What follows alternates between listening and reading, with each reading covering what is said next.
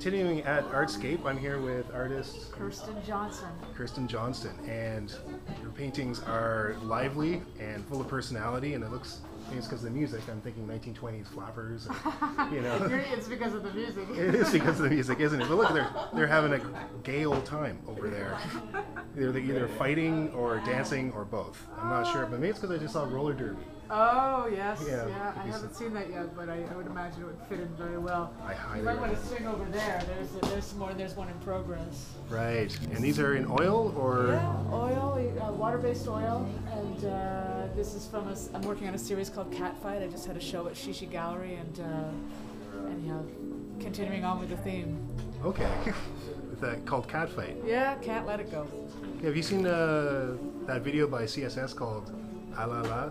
No. No, it's one giant girl fight Oh, is it? as they're singing. Yeah, I'm just you know. I'll put the link below this video. Sure. So you're okay. This is water-based oil. Yeah. Such a thing exists? Oh yeah, it's a brand new thing. It's it's um, you, you clean it with uh, water as opposed to turpentine. It saves a lot of brain cells, lots and lots of brain cells. Oh wow. Yeah, Okay. yeah, it's That's- really I'm gonna have to try that out because I've been using acrylics indoors, yeah, um, but I'd rather use oils. yeah, yeah, yeah. No, go for it. Do it because it's it's it made a huge difference. I used to get headaches all the time, and I don't. The only thing you need to know is that uh, you have to use stand oil, uh, something thicker, because it can get a little gummy, and Oh, so uh, and sometimes it'll get a skin on it. But you just like you know. Work it with a palette knife and get the rid of the skin, and then you're fine. Oh cool. Okay. Thanks a lot. Yeah, no problem.